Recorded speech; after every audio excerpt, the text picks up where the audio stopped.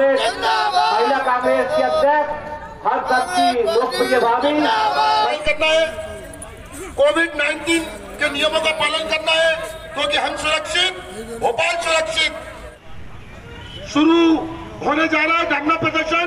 बढ़ते जा रहा है। पेट्रोल के दाम बढ़ते जा रहे हैं डीजल सुरक्षित जगह पे रखें।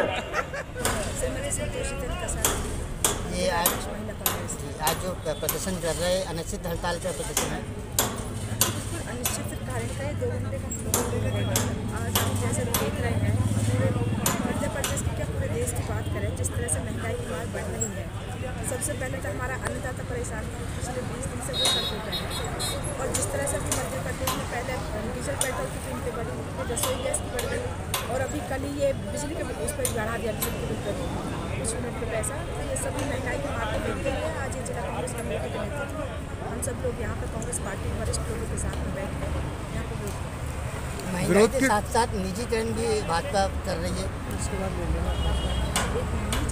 निजीकरण करने जा रही है जैसे रेलवे का है। को निजीकरण बिल्कुल देखिए कहीं ना कहीं जिस तरह से केंद्र सरकार यहाँ पे दिखा रही है कि चाहे हम रेलवे की बात करें चाहे अन्य उसकी बात करें जिस तरह से निजीकरण है उसका भी हम सब लोग विरोध कर रहे हैं। क्योंकि सिर्फ़ ये पूंजीपतियों को और कुछ विशेष लोगों को ही लाभ देने के लिए ये सब निजीकरण किया जा रहा है और सब लोग कांग्रेस पार्टी क्या कांग्रेस द्वारा आज कोई ज्ञापन भी दिया जाएगा महामहिम राज्यपाल को या मुख्यमंत्री शिवराज सिंह चौहान को महँगा बढ़ती महँगाई को लेकर के? तो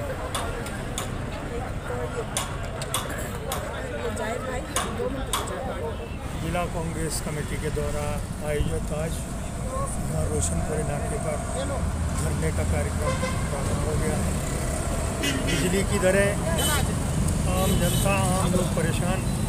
अत्याधिक दरें बढ़ाई गई। डीजल के दाम देखिए, बयासी रुपये लीटर हो गया। पेट्रोल के दाम देखिए, नब्बे रुपये लीटर हो गया।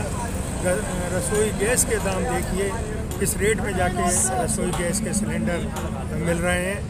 और किसानों का जो धरना आज 25 दिन से चल रहा है, उनके समर्थन में जिला कांग्रेस कमेटी आज यहाँ पर धरना दे रही है सभी हमारे साथी यहाँ पर आ रहे हैं और कांग्रेस का आपको लगता है केंद्र सरकार जो तीन बिल लेके आई किसानों के विरोध में वापस लेगी निश्चित रूप से किसानों का इतना दबाव है देश की जनता का इतना दबाव है कि तीनों जो काले कानून हैं जो पीछे के दरवाजे से लाए गए उन्हें वापस ले जाना चाहिए सर बिजली रेट भी बढ़ा दिए तो उसी के विरोध में तो हमारा धरना है। बिजली की दरें बढ़ाने के विरोध में डीजल पेट्रोल रसोई गैस की जो दरें बढ़ी हैं उसके विरोध में कांग्रेस पार्टी का धरना है।